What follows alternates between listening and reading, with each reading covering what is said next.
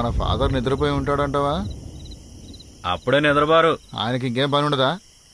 ఎందుకో తెలీదు. మళ్ళీ కలవమంటున్నాడు. ఎందుకేంటి పొద్దున జరిగిన దానికే? ఫాదర్ హ్మ్, పాప ప్రక్షాళనకు జగన్నాథం వచ్చాడు. రమ్మను. మ్మ్. మ్మ్. నిన్ను లోపలికి రమ్మంటున్నారు. బాగా దేవుణ్ణి ప్రార్థించరా. నువ్వేంటి? నువ్వు కూడా వెళ్తావా? లేదు. పితాపుత్ర. ఆమెన్.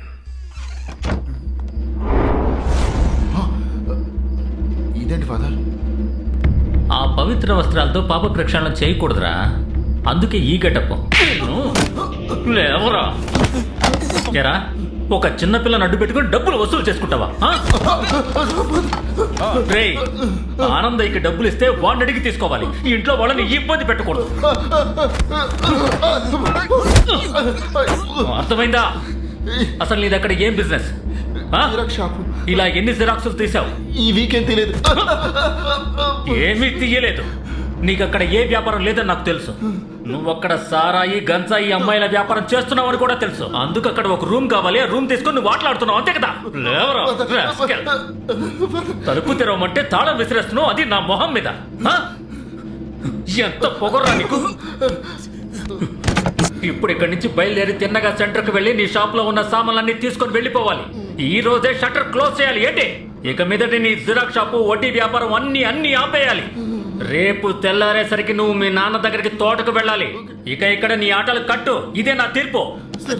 ఆ తరువాత నెలకు ఒకసారో వారానికి ఒకసారో వెళ్ళి అమ్మని చూడు. అర్థమైందా? పోరా. ఈ రోజు షట్టర్ ముయ్యకపోతే నీ ఎంత చూస్తా. మూసేస్తావుగా? ఈ ఊళ్ళో నేను ఒక తీర్పు చెప్తే ఆ తీర్పే ఫైనల్. అర్థమైందా? ఎవరైనా వచ్చారా నీతో? ఎవరు? హోజర్ వచ్చాడు. ఎక్కడ? రా రా రా. మీరు బయలుదేరండి. వర్షం వచ్చేలా ఉంది. జాగ్రత్తగా వెళ్ళు. పో. ఫాదర్ మరి వీణేం చేయమంటారు చెప్పండి. ఏ ఇలా చూడు. వీడిని ఊళ్ళో దింపే. ఆ. ఏంట్రా? ఏం లేదు. అయ్యో అయితే వెళ్ళా. వెళ్తాను. ఇంకా రేపెందుకు రావడం? వెళ్ళు. మీకంటే ముందు నాకే పాప ప్రక్షాళన చేశారు ఫాదర్. ఇక్కడ ఎక్కువసేపు ఉండకూడదు త్వరగా పద.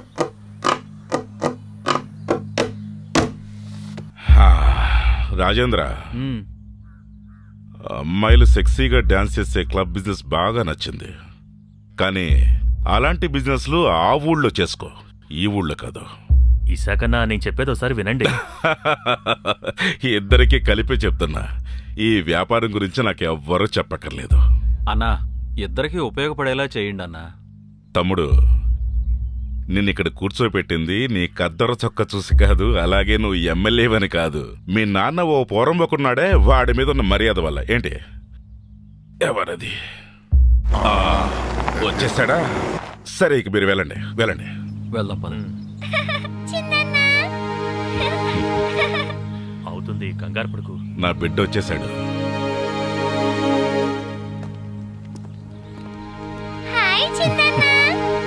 హాయ్ బంగారు తల్లి. ఆ, తీసుకో. అవును మన టీమ్స్ అన్ని ఎక్కడ? మార్కెట్కి వెళ్ళారు మధ్యాహ్నం వరకు వచ్చేస్తారు. అవునా? లోపలికి రండి. ఏంటి దీనికి ఫుడ్ సరిగా పెట్టట్లేదో? చిక్కిపోయింది. అది సరిగ్గా తింటే కదా. కాస్త ఏంటి? పొడిగైంది ఫాదర్. మీరు డ్రెస్ మార్చుకురండి. మీతో కొంచెం మాట్లాడాలి. ఏ ఈ వస్త్రాలతో ఉన్నప్పుడు మాట్లాడకూడదా? నన్ను తిడతారా ఏంటి? రే నువ్వు ఈ డ్రెస్లో ఉన్నప్పుడు నేను నీ కన్న తండ్రినైనా నిన్న ఫాదర్ అని పిలవాలి కదా. పిలవండి. ఏంటి? ఏడ్చాలి. రే చెప్పండి. నువ్వు అక్కడ ఫాదర్గా ఉన్నావా? లేక రౌడిజం చేస్తున్నావా?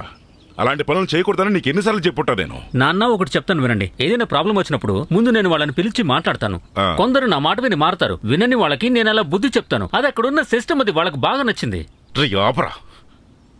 రే నాన్న. పాపం కడుక్కోవడానికి వచ్చిన వాళ్ళని. గుండెల మీద కొట్టడం దైవాన్ని కించపరిచినట్రా. ఏంటి కించపరచడం ఏంటి? కొంతమందిని చూడగానే అనిపిస్తుంది. రెండు కొడితే సెట్ అవుతాడని. అలాంటి వాళ్ళనే నేను కొడతాను. అర్థమైందా? జీసస్ చెప్పిందే చేస్తున్నాను. అందులో నాకు ఎటువంటి దోషం ఉండదు. ఈ ఫాదర్ జీసస్ చెప్పిందే చేస్తాడు. గుర్తుపెట్టుకోండి. ఈయనకి ఇప్పుడు అర్థమవుతుందమ్మా రే రే ఊరుకోరా. షర్ని వీడి ఫాదర్ ఎలా అయ్యాడో తెలుసా? ఇప్పుడు ఆ విషయాలు ఎందుకు? వీడు ఏడో తరగతి చదువుతున్నప్పుడు మీ మామయ్య ఐడియా ఇచ్చారు. కాదమ్మా ఆరో తరగతి పరీక్షలు అయ్యాక కదా? ఆ, ఆరో తరగతి. ఆరో తరగతి చివరి పరీక్షలు అయ్యాక వీడిని మార్చింది. అమ్మా నాకు ఆకలిస్తుంది. ముందు అన్నం పెట్టు. రండి భోంచేద్దాం రండి. పదండి.